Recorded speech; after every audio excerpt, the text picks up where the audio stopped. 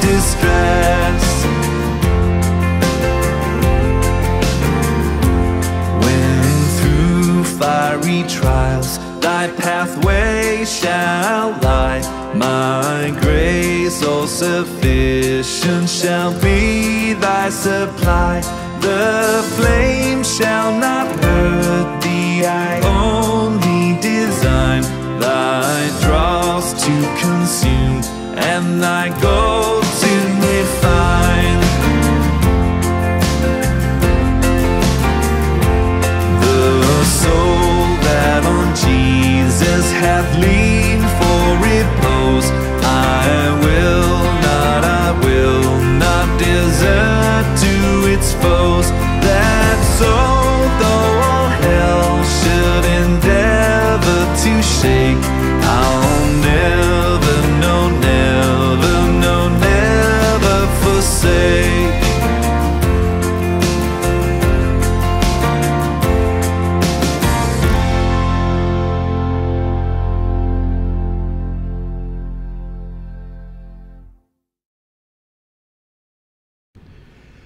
Well, I'm glad that we have this opportunity to be together here to worship our God and our Lord and Savior Jesus Christ while we're, we're here at Harlandale Christian Church.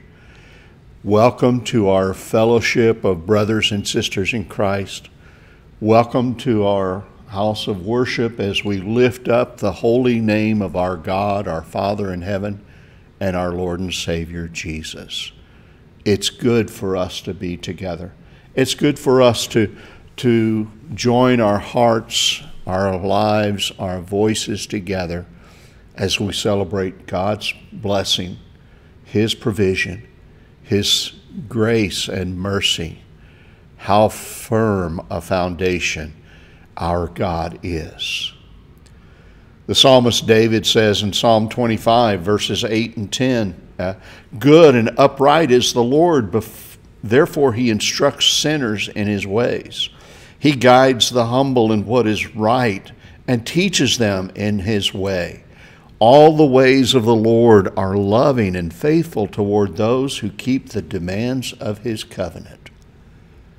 And so today, we commit ourselves during this worship time and to begin here in every day and every moment of our lives to keep God's covenant so that He might bless us, so that He might save us. Let's worship Him in prayer. Father in heaven, we thank you for your presence here among us through your Spirit. Thank you for uh, our fellowship of brothers and sisters here at Harlandale Christian Church that uh, we have this privilege of coming to lift up your holy and precious name to worship you. Thank you for the opportunity for those who worship with us online and distance uh, that we can join our voices in praise and song and join our hearts in fellowship and in worship of you. Father, you are great. We humble ourselves to you and we ask you to, to speak to our hearts through your Spirit today. Teach us your way as we worship you. I pray in Jesus' name. Amen.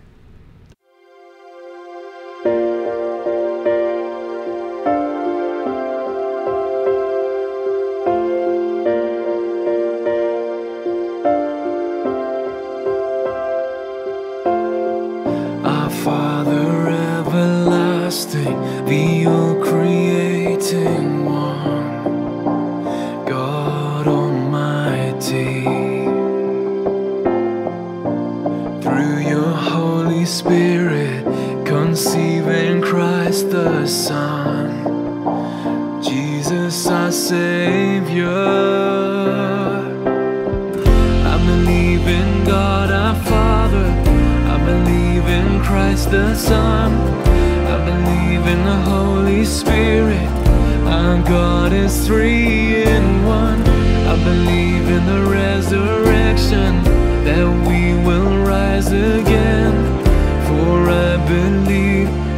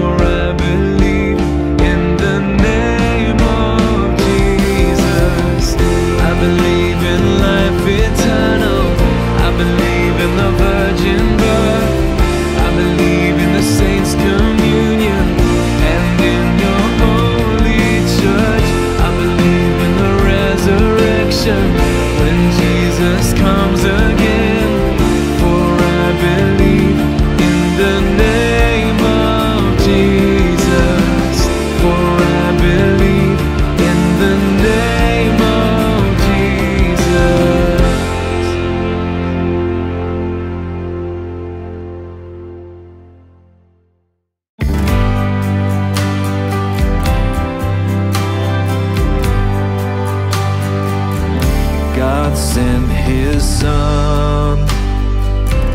They called him dear.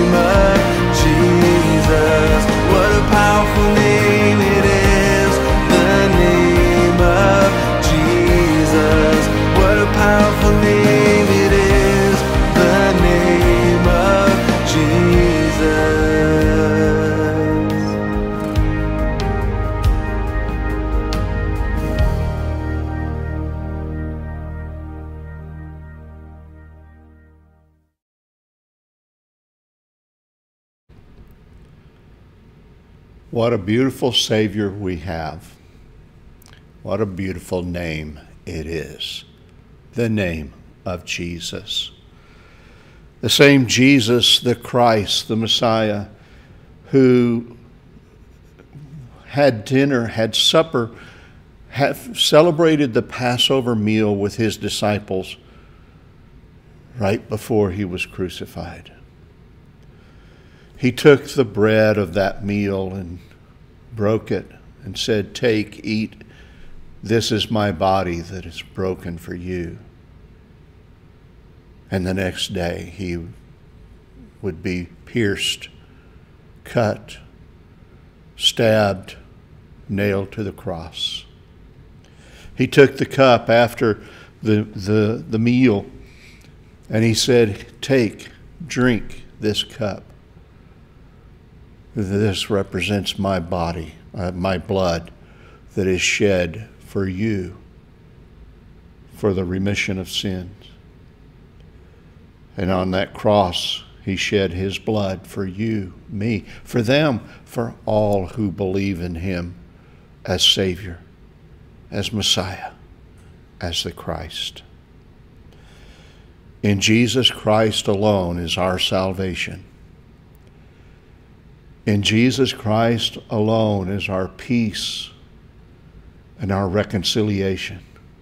In Jesus Christ alone is our redemption and our hope of eternal life with Him, with God in heaven. Our hymn of communion today is just that song, In Christ Alone. As we partake of these emblems, and if you're worshiping with us in your home, I hope that you have set aside the bread and the juice to be able to partake of the Lord's Supper with us at this time. But let's meditate upon the words of this song In Christ alone I place my trust. In Christ alone we have salvation, redemption, and the grace from God. Let's pray. Father in heaven, we thank you for this bread and this cup that reminds us of the price that was paid for our salvation, for our redemption, for our forgiveness of our sins. Thank you for this remembrance that you have provided to us as Christians through, through all of the ages, that even as Paul wrote to the church in Corinth to take and participate and partake of these emblems and remember that Jesus is coming again to receive us, to take us home. Thank you, Father, that in, Christ alone is your grace, your mercy, and our salvation. We pray in Jesus' name. Amen.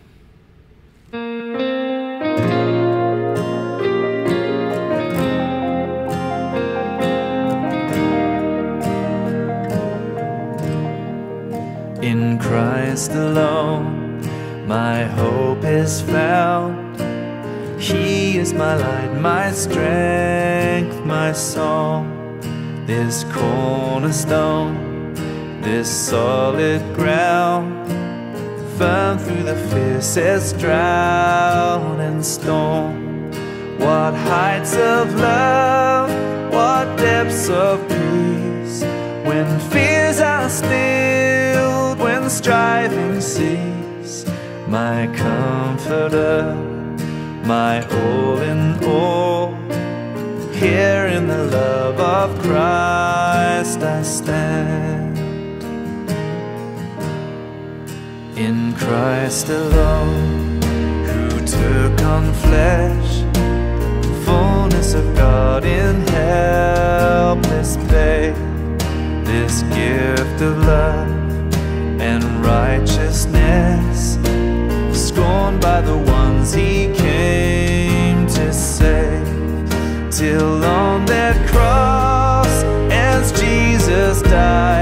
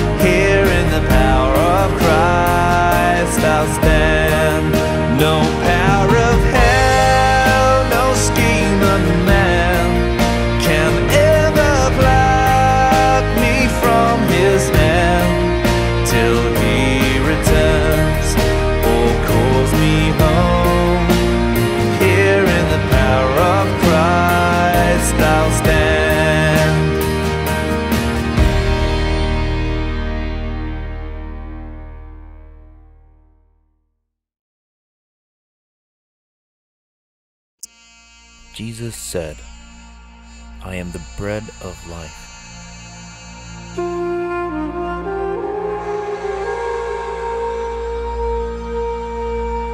I am the light of the world.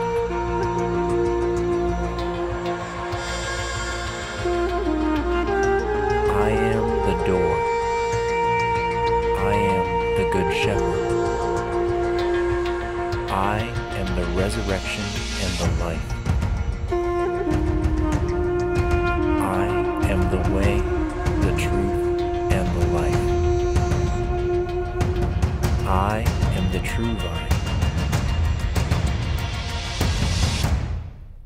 In a name? I am.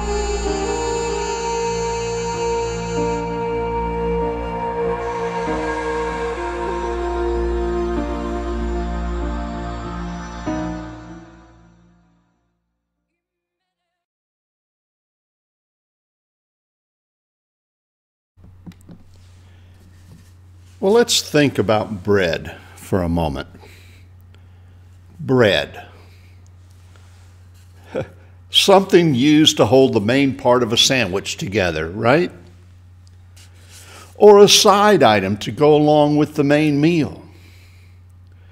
It's something American children tear the crust off of before they eat that bread.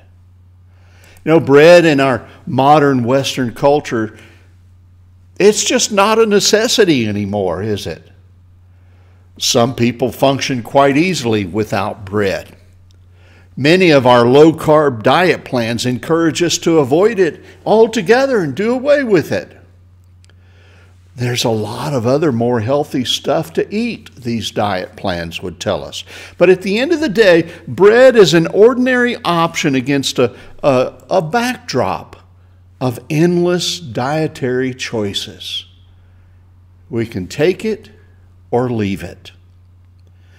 But, friends, it wasn't that way in Bible times.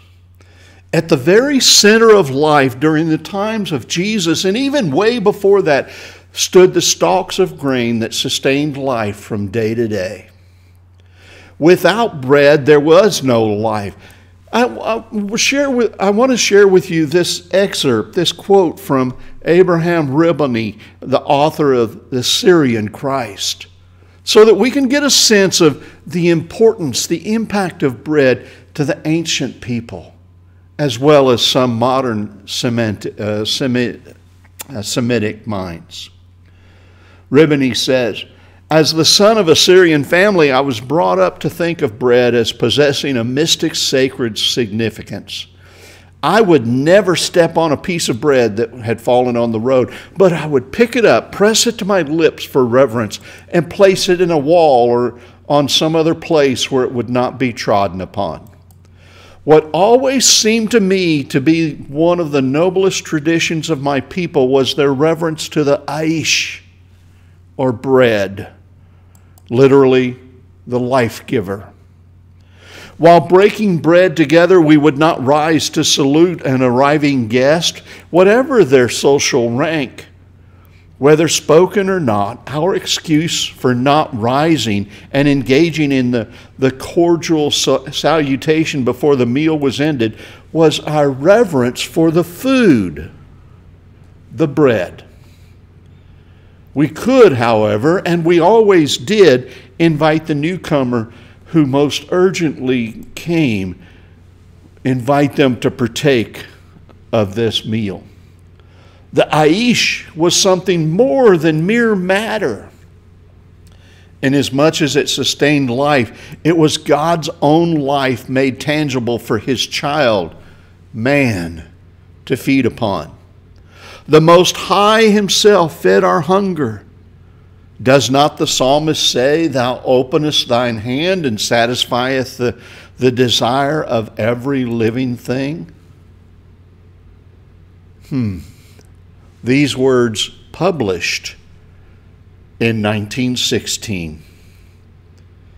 But it gives us insight to that Semitic mind. Bread also speaks of a covenant the expression that some people have used in the past, there's bread and salt between us, gives us the idea that the, the parties were one in a solemn agreement. A vow that invoked these terms spoke of the highest kind of commitment to each other or to the principles of that commitment. In fact, this is what happened when Abraham was greeted by the priest Melchizedek in the book of Genesis.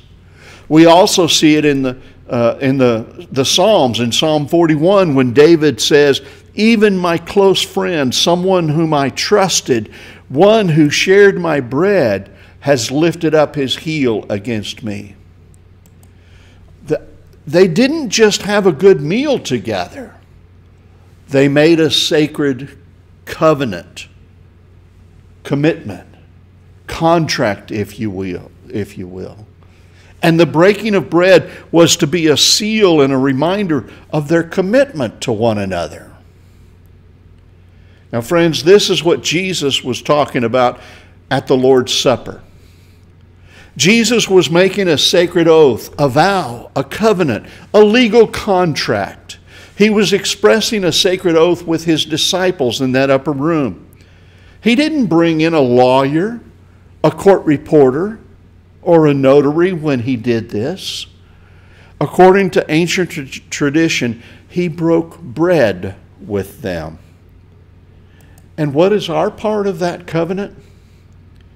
Eat, remember, and receive the full provision of Christ who dwells in you richly. Now let's fast forward to the Gospel of John, chapter 6.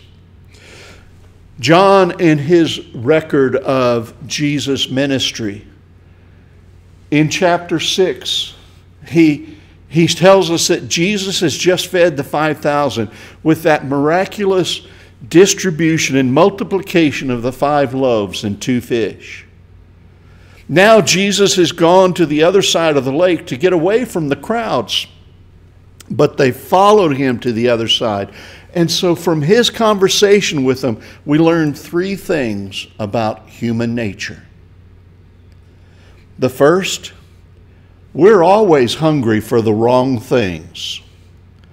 In John 6, verse 26 and 27, we have this You're looking for me because you want to have your bellies filled again. Don't work for food that spoils but for food that endures to eternal life, which I will give to you. Now, this might be a reference that Jesus is making back to Isaiah chapter 55 and verse 3, where Isaiah says, Why do you spend your money for what is not bread and your labor for what does not satisfy? But it also brings to mind Jesus' words in what we call the Sermon on the Mount in Matthew chapter 6, verses 31 to 33, where Jesus says, So do not worry, saying, What shall we eat, or what shall we drink, or what shall we wear? For the pagans run after all these things, and your heavenly Father knows that you need them. But seek first his kingdom and his righteousness, and all these things will be given to you as well.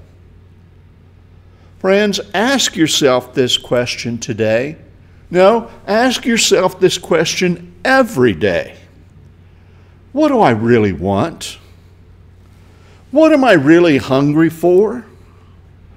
Not just the, the superficial or physical needs of food and clothing and shelter, but the deeper spiritual needs that, that separate, that distinguish us as human beings from all other creation our creatures. And let's learn to measure wealth not by the things that you have, but by the things you have for which you would not take any money. The second thing that we learn about human nature we expect God to provide us with those wrong things. Think about it. These people were running after Jesus, just hoping that he would perform another miracle of, of multiplying the food, giving them something that they didn't bring, something that they didn't have for themselves, basically just so that they could have their bellies filled again. And Jesus called them on it.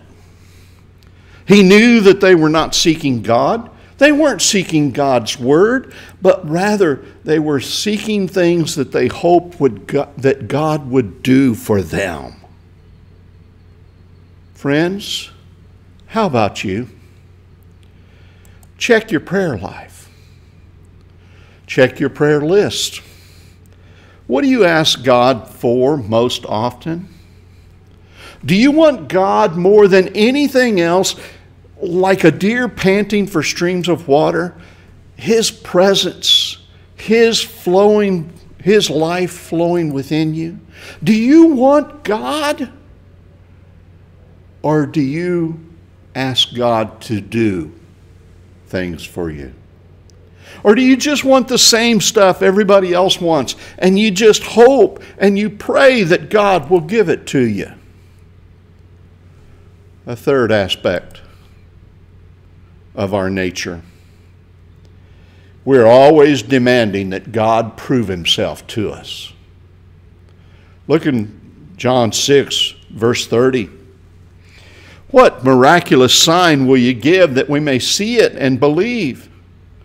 Remember the day before they were, uh, they were part of this crowd of 5,000 people that had been fed from five loaves and two fish. And then they offered us this suggestion, still thinking about their stomachs, apparently. So they say to, uh, to Jesus in verse 31 Our forefathers ate the manna in the desert. Moses gave them bread from heaven to eat. Which then brings us to the focus of our message today. Jesus identified himself as the bread of life. First, he did this indirectly in, in the third person in verse 33. He says, The bread of God is he who comes down from heaven and gives life to the world. How did they respond to this statement that Jesus made? They said, Oh, sir, from now on, give us this bread. They still don't know what he's talking about. They're still thinking physically, materially, like the woman at the well that we talked about last Lord's Day in our message. The, the, the woman who wanted the water so that she would never have to come to the well again. and they're comparing this to Moses and the manna in the wilderness. So in verse 35, Jesus gets more direct, more to the point with them. He says, I am. Remember? I am the same name that God told Moses. That's who sent him. I am the bread of life. He who comes to me will never go hungry. And then Jesus gives this challenge in verse 36 But you've seen me and yet you still do not believe. Friends, everyone here this morning has seen Jesus. That is, we understand his claims to some degree. We understand, we believe Jesus is the Son of God. We accept him and we believe him to be the Savior of the world. And yet we don't believe it we don't believe as he was speaking to the people in this crowd. We don't believe it. How do I know that? Because we're still spending our money on what doesn't satisfy us. We're still demanding that God prove himself to us in our physical, in our material, in the day and in our present physical being. So then we see the aftermath of this whole episode, this whole conversation in chapter John chapter 6 verses 52 to 59. I have to admit what follows here is one of the most difficult sections in scripture. There's just no sugarcoating it. But in verses 53 to 56, Jesus said to them, Verily, very truly I say to you, unless you eat the flesh of the Son of Man and drink his blood, you have no life in you. Whoever eats my flesh and drinks my blood has eternal life, and I will raise them up at the last day. For my flesh is real food, and my blood is real drink. Whoever eats my flesh and drinks my blood remains in me, and I in them. And then we see the result in verse 60.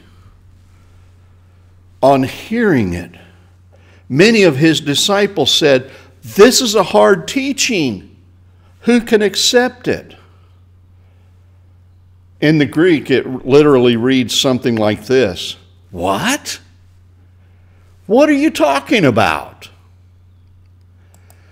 But in private with his disciples, in verse 63, Jesus explains himself when he says, The Spirit gives life, the flesh counts for nothing. The words I've spoken to you, they are spirit and life. In other words, he explains to the disciples, I'm talking about spiritual realities, not physical flesh and blood. And that same message when he said to the crowd, Whoever eats this, he eats my flesh. Whoever drinks my blood. He was talking about spiritual, accepting his grace his sacrifice that was yet to come. And that's the same message to us today. But do you see what's next in verse 66 of John 6? This was still too much for some of them.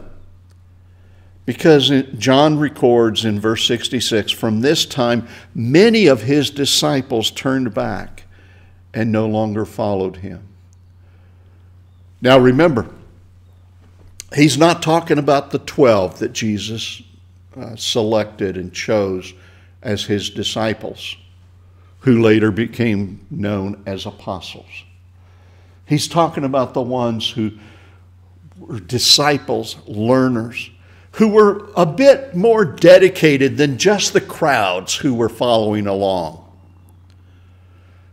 But with this saying, John says from this time, many of his disciples, many of his learners, many of his followers turned back and no longer followed him because it was too hard in their physical, in their thinking and material and physical ways.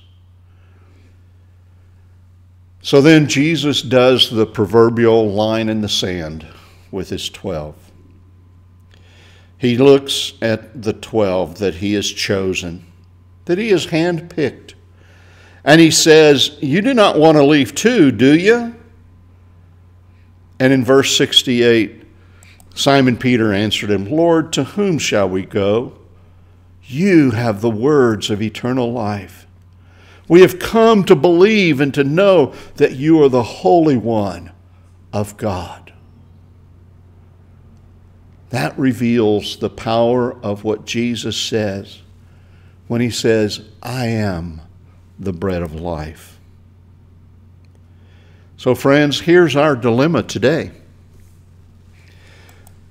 Here is the crux of the matter.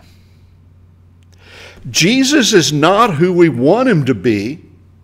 He is not just some being or some uh, existence that we can shape him into who and how we want him to look and act and be. He's not a genie in a bottle. Jesus will not always meet your expectations of what, of what you want God to do for you. But remember what he said He is the bread of life, He's the sustenance the source, the nourishment of our whole existence, of our whole spirit, of our relationship with God. And, and friends, there's absolutely no place to go for real life any better than Jesus Christ. You know that's true. And God will show you that the pain, the failure, the disappointment, the stumbling that we all face in this life, they're all a necessary part of the mystery of this life that we have in God and in Christ. Because the walk of faith begins with a stumble. As we realize that only Jesus can provide us with the bread that feeds our deepest hunger the needs of our heart, the needs of our soul, our spirit. Life eternal that God our Father provides for us through the bread of life, Jesus. Our song of decision and dedication today is one that says, Jesus paid it all. All to him I owe. Sin has left a crimson stain. He washed it white as snow. He replaces uh, the thoughts of all of our physical and material things with His Spirit, His strength, His nourishment, His grace, His forgiveness. Jesus the bread of life, our life, our hope, our salvation. Let's pray. Father, we thank you for showing us in your word who Jesus is. We have read uh, and we know through the scriptures that Jesus is your son. We accept him as our Savior, as your way to give us grace and mercy. Father, we're hungry today. And we're hungry for your spiritual food. We come here aware of our physical needs and our human desires. But today, Father, as we know and as we sing this song and we recognize that Jesus paid the price for us, make us aware of our deeper, more important hunger in our souls, in our spirits. And Father, feed us today with the bread of life, your Son, the I am. I pray in Jesus' name. Amen.